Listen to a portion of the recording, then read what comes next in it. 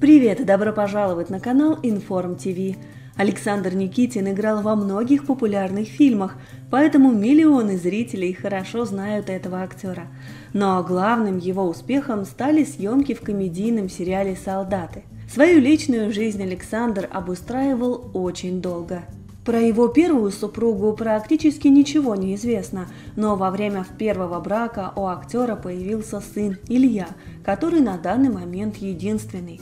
Сейчас парню уже исполнилось 20 лет. Второй женой Никитина стала актриса Надежда Бахтина.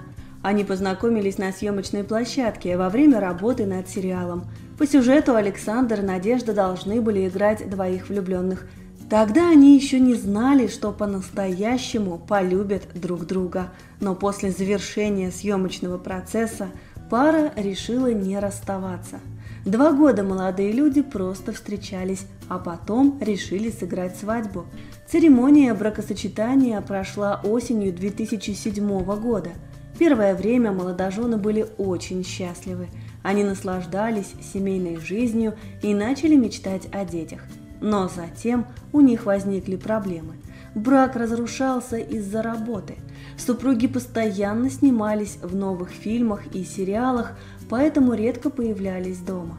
Александр и Надежда все больше отдалялись друг от друга. Кроме съемок в кино, они также участвовали в театральных выступлениях. Еще молодых артистов часто приглашали в разные телепередачи и ток-шоу. В итоге местом жительства супругов на несколько лет стали два разных города – Киев и Москва. Надежда проводила больше времени в российской столице, а Никитин чаще бывал в украинском городе. Там он принимал участие в проекте «Танцы со звездами». Александр со временем очень сблизился со своей партнершей Екатериной Тришиной. Даже возникли слухи об их романе – Супруга, как говорят, не стала терпеть возможную измену и развелась с мужем, но официально они никаких заявлений не делали. Надежда после расставания с Никитиным увлеклась религией. Сегодня женщина все свое время посвящает православному театру «Живая вода» при монастыре. Там она и проживает.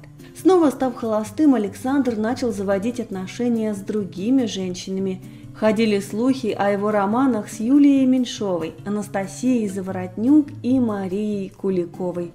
Но официальный брак Никитин ни с кем из них не оформил, и никакие из этих отношений официального подтверждения не имели. Актер долго скрывал свою личную жизнь, и только в 2019 году журналистам удалось узнать, что Александр снова влюбился. Его избранницу зовут Ирина, а недавно пара выложила в интернет совместную фотографию с комментарием о том, что они уже муж и жена. Поклонники уверены, что скоро пара порадует нас прибавлением. Если вы помните замечательного актера Александра Никитина и не менее замечательную Надежду Бахтину, ставьте лайк. Не забывайте подписываться и жмите на колокольчик. Удачи!